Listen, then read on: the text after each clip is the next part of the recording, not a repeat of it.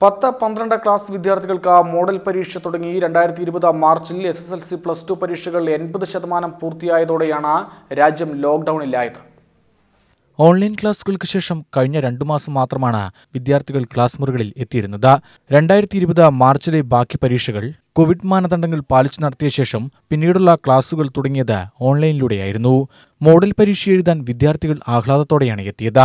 Covid മാനദണ്ഡങ്ങൾ അനുസരിച്ച് മാത്രമാണ് വിദ്യാർത്ഥികളെ പരീക്ഷാ ഹാളിലേക്ക് പ്രവേശിപ്പിച്ചത്. സ്കൂളുകളിൽ തെർമൽ സ്കാനർ ഉപയോഗിച്ച് ശരീരോഷ്മാവ് അളന്നും കൈകളിൽ അണുനാശിനി പുരട്ടിയുമാണ് കുട്ടികളെ ക്ലാസ് മുറിയിലേക്ക് പ്രവേശനം നൽകിയത്. രാവിലെ ഒൻപത് മണിക്ക് തന്നെ സ്കൂളിൽ എത്തണമെന്ന നിർദ്ദേശം നേരത്തെ തന്നെ നൽകിയിരുന്നു. ആറ് ദിവസം പത്ത് മുതൽ പതിനൊന്ന് മുപ്പത് വരെയാണ് പരീക്ഷ. വെള്ളിയാഴ്ച വരെ തുടർന്നുള്ള ദിവസങ്ങളിൽ രണ്ടു നേരവും പരീക്ഷയുണ്ട്. ഒൻപത് വിഷയങ്ങൾക്കാണ് പരീക്ഷ. സംസ്ഥാനത്ത് ഏറ്റവുമധികം പെൺകുട്ടികൾ പഠിക്കുന്ന പള്ളിക്കൂടമായ പാലക്കാട് ഗവൺമെന്റ് മോയൻ മോഡൽ സ്കൂളിൽ ഇത്തവണ തൊള്ളായിരത്തി ഒൻപത് കുട്ടികളാണ് പത്താം ക്ലാസ് പരീക്ഷ എഴുതുന്നത്. സമ്മർദ്ദമില്ലാതെയാണ് മോഡൽ പരീക്ഷയെന്ന് വിദ്യാർത്ഥികൾ പറഞ്ഞു. ഇവിടെ സ്കൂളിൽ വന്നുകൊണ്ടിരുന്ന സമയത്ത് നമുക്ക് ഇവിടെ തന്നെ എക്സാം എഴുതി തന്നെ പ്രാക്ടീസ് ഉണ്ടാവും. പക്ഷേ വീട്ടിലായിരുന്നപ്പോൾ ആ ഒരു പ്രാക്ടീസ് കിട്ടിയില്ല എന്നേ ഉള്ളൂ. എന്നാലും ഞങ്ങൾക്ക് പഠിക്കാനെല്ലാം പറ്റി. കുഴപ്പമൊന്നും ഉണ്ടായിരുന്നില്ല. ടീച്ചർമാരെ ഗൂഗിൾ മീറ്റിലൂടെയും മറ്റുമൊക്കെ ഞങ്ങളോട് സംവദിച്ചുകൊണ്ട് തന്നെ ഞങ്ങൾക്ക് അധികം ബുദ്ധിമുട്ട് തോന്നിയിട്ടുണ്ടായിരുന്നില്ല.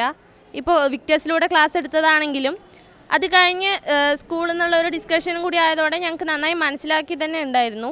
ഇപ്പോൾ എസ് എസ് എൽ സി എക്സാമിന് മുന്നോടിയായിട്ട് ഈ മോഡൽ എക്സാം ഞങ്ങൾക്ക് ഇപ്പോൾ പുതിയതായിട്ടാണല്ലോ എക്സാം സ്റ്റാർട്ട് ചെയ്യുന്നത്. അതായത് ഫോക്കസ് ഏരിയ ബേസ്ഡ് ആയിട്ടുള്ള കൂടുതൽ ഫോക്കസ് കൊടുത്തിട്ട് ബാക്കിയുള്ളതെന്ന് കുറച്ച് ക്വസ്റ്റ്യൻസ് വരുന്ന പുതിയൊരു മെത്തേഡിലാണല്ലോ ഈ- എക്സാം തുടങ്ങുന്നത്. അതുകൊണ്ട് തന്നെ പുതിയ ക്വസ്റ്റ്യൻ പേപ്പർ കണ്ടപ്പോൾ കിട്ടുന്ന വരെ ഒരു ആകാംക്ഷ ഉണ്ടായിരുന്നു. എങ്ങനെയായിരിക്കും ക്വസ്റ്റ്യൻ പേപ്പർ നേരത്തെയാണ് പറഞ്ഞിട്ട് ചോയ്സ് ഉണ്ടാവും. ഇപ്പോൾ ചോയ്സ് ഇല്ല. എന്ത് വേണമെങ്കിലും എടുത്ത് എഴുതാൻ പറ്റും.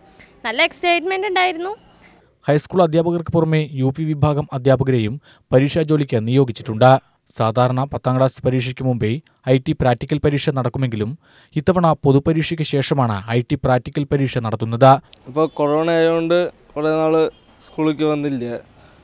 വീറ്റേഴ്സ് ചാനലിലൂടെ ക്ലാസ്സൊക്കെ കിട്ടിയിരുന്നു. എന്നിട്ട് ഇവിടെ വന്നിട്ട് കുഴപ്പ കുഴപ്പമില്ലാന്ന് തോന്നി. പരീക്ഷയ്ക്ക് അത്യാവശ്യം എല്ലാം അറി അറിയണതായിരുന്നു. പിന്നെ ടീച്ചർമാരെ സഹായിക്കുകയും ചെയ്തിട്ടുണ്ട്. ഇവിടെ വന്നിട്ട് നല്ല ക്ലാസ്സും കിട്ടിയിട്ടുണ്ട്. ടോട്ടലി കുഴപ്പമില്ല എന്നാണ് തോന്നുന്നത്.